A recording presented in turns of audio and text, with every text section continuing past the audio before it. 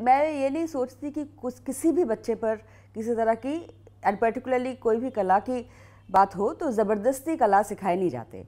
मैं अपना एक्सपीरियंस दे के बोल सकती हूँ, मैं बिल्कुल बचपन में वही पाँच छः साल की थी, तब मैंने एक्चुअली कथक करना शुरू किया था, सीखना शुरू किया था। मदर की बहुत इंटरेस्ट थी, लेकिन टाइम होता था कि स्कूल से वापस आओ, और फिर जो प्ले टाइम होता था, खेलने का टाइम उस टाइम गुरु आते थे। पंडित दुर्गालाल जी नहीं, मैं दूसरे किसी से सीख रही थी तब।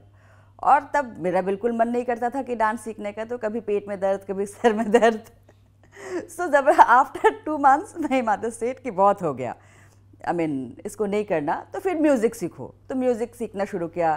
सो so, थोड़ा इधर उधर थोड़ा भटकनी चाहिए। फिर उसके बाद कुछ साल बाद मैं खुद ही डिसाइड ली कि नहीं मुझे कथक सीखना है और मुझे पंडित दुर्गालाल जी से ही सीखना है क्योंकि मैंने उनका एक प्रोग्राम देखा था और मुझे बहुत अच्छा लगा था। तो वो डिसीशन फिर खुद आई और जब तक ये बात अंदर से ना आए तो सीरियसनेस ने भी नहीं आ सकता। कभी कभी होता है माँ बाप बच्चों पर इतने प्रेशर डालते हैं तो बच्चे पूरे ज़िंदगी के लिए कि वो उस पर्टिकुलर आर्ट फॉर्म से उनके मतलब दिल हट जाते हैं। सो वो बिल्कुल नहीं करना चाहिए।